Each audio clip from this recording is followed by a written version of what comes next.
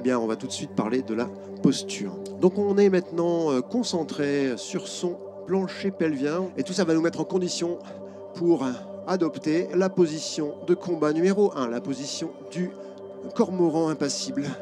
Ce cormoran, il est maintenant bien sec et nous allons adopter à présent une position voisine, intermédiaire entre celle du tatou colérique et celle du scarabée impassible. Il s'agit du scorpion rancunier.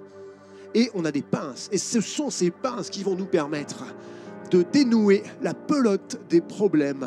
Avance sur ton chemin intérieur, la position du bouclier. Voilà. Ta conscience, faites les mouvements, s'est endormie en douceur.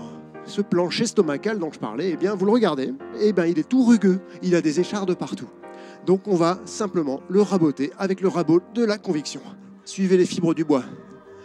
Très bien, et maintenant on va le poncer avec le papier de verre de la certitude. Et on va maintenant passer une triple couche du vitrificateur de la sérénité. On croise les couches.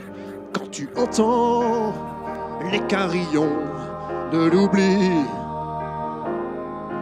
quand tu attends le tourbillon de l'ennui,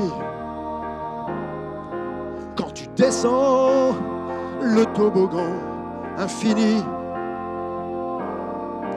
alors tu comprends le sens de la vie.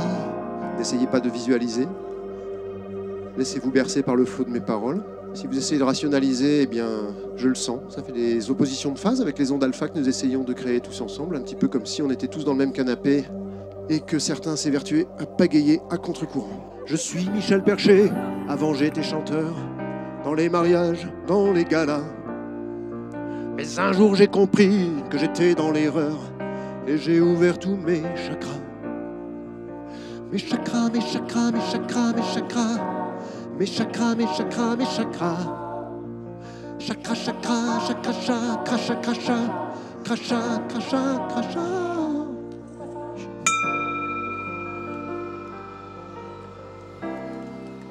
Voilà, si mes calculs sont bons, vous avez tout oublié de cette séance d'initiation au tantrisme zodiacal, hein, également appelé Chadra.